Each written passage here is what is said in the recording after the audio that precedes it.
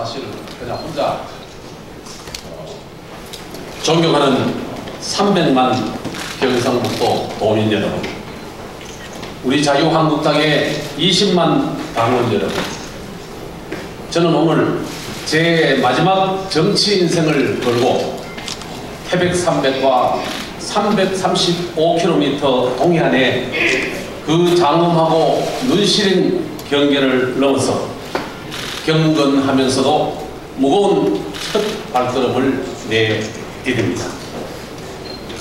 예산 담당 중앙부처의 공무원으로서 경북의 지역구를 둔 의원으로서 경북을 위해 일한다는 생각을 평생 단 한 번도 저버린 적이 없습니다만 이제 직접 경북 부활의 깃발을 들기 위해 엄숙한 마음과 결연한 의지로 경상북도 도지사 출마를 선언합니다.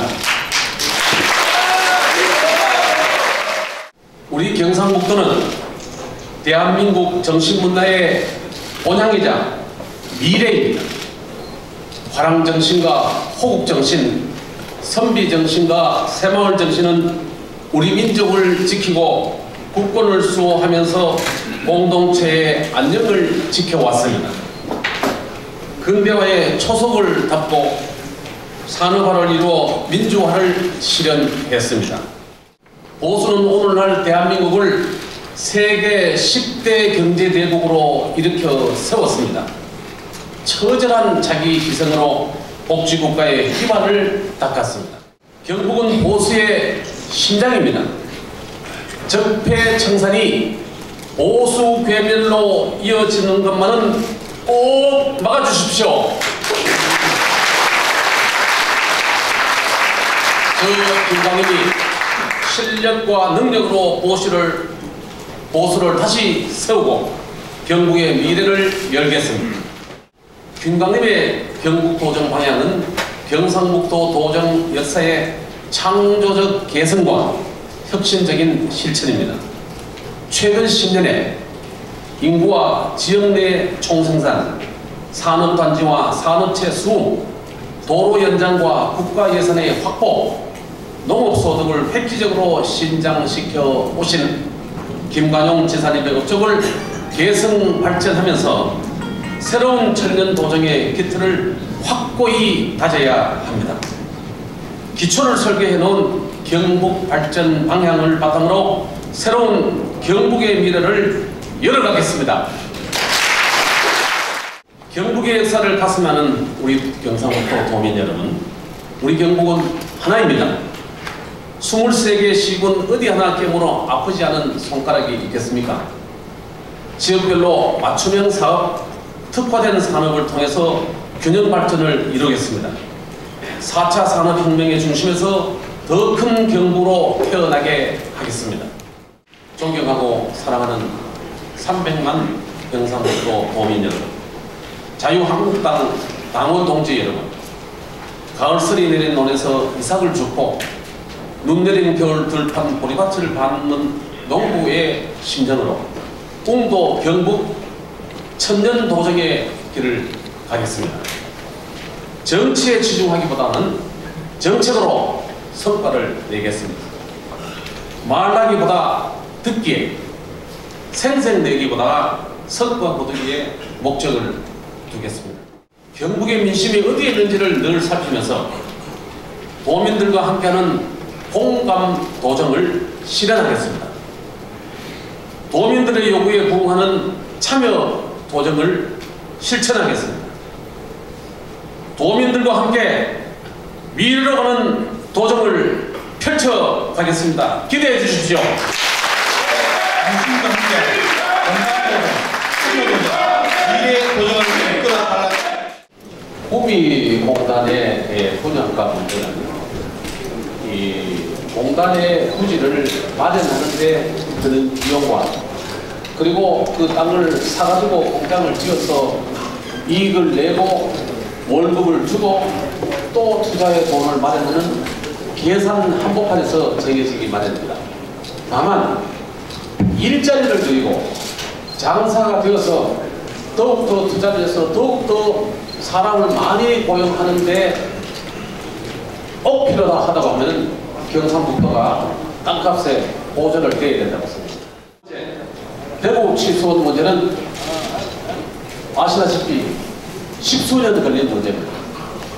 이 부분은 어느 한 곳이 내 물이다. 내적으로 더 놓으면 안 된다. 이런 생각 가지고 해결할 수가 없습니다. 국회의원, 양, 도의원, 시의원 모두가 조금씩 양보를 해서 깨끗한 물, 풍부한 물을 공급할 수 있도록 조금씩 양보하고 협조해야 된다. 이렇게 생각합니다.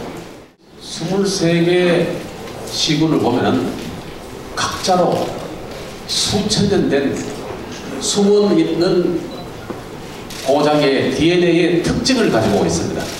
북부 지역, 동해안, 남부, 중부 지역 이 특징을 골고루 살려가는 게 굉장히 중요한데 배고프고 먹는 거 해결할 때는 그거 못하면 죽는 줄 알고 고향 떠나 구미로 모이고 모이고 했지 않습니까? 근데 지금은 3만 불 시대로 기본적으로 먹을 거 해결하고 자는 곳 해결하고 아픈 거 해결하고 되는데 내 지방에서 내가 힘을 쏟아서 고향을 지켜가면서 큰 돈 벌지 않고 즐겁게 저녁이 있는 삶을 산다.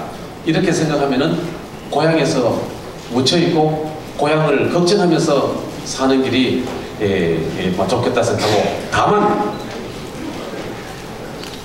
본부에서 모여서 교통 오지에서 늘 맑은 공기 마시고 산 보고 살아라 그러면 그것도 하루 이틀 아니고 힘들지 않습니까? 그래서 23개 시군에 1시간 내에 어디면 왔다 갔다 할 수 있도록 예컨대 지금 포항과 안동은 거리는 62km입니다. 지금은 2시간 20분 걸려요. 지금 4차선 도로가 노역하고 있는데 62km 같으면은 시속 한 80km만 밟으면 몇 분 걸리겠습니까? 이렇게 교통의 그, 그 연계를 통해서 어디든지 가서 보고 배우고 느끼고 해오는 어, 그런 곳이 되도록 하고 정치인과 행정관료라는 비교는 조금 덜 적합하다 이런 말씀을 드리겠습니다.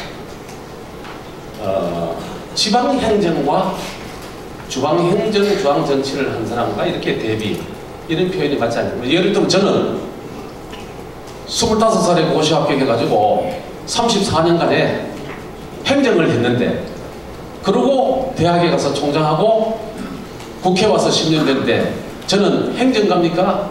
정치인입니까? 예. 그래서 이 부분은 지방행정에 예, 통달하신 분 이런 분하고 또 뭐 이 중앙행정과 정치를 섭렵하신 분 이런 분이라고 보는데 맞춤형으로 어떻게 하시는 분이 좋겠나 하면 둘다 경험하신 분이 좋다라고 생각을 하고 그 다음에 경북이 경북만으로서만 경북이 아니기 때문에 다른 시지, 시장 도지사와 같이 어깨를 나란해서 협조를 하고 중앙부처의 장관을 만나고 총리에게 질문을 하고 하자면은 어떤 분이 더 좋겠냐 하는 것은 현실적으로 한번 보십시오. 제주도의 원희룡 지사, 부산의 서병수 시장, 울산의 김기현 시장, 경남의 홍준표 도지사, 우리 경북은 아주 예외적으로 특출나는 분이 계셔가지고 어, 우리 김관용 지사가 해주셨습니다. 남경필, 뭐 박원순, 그 다음에 뭐 내려가면서 이시종 충청북도 이런 분들이 행정과이고 지방행정을 했는 분입니까?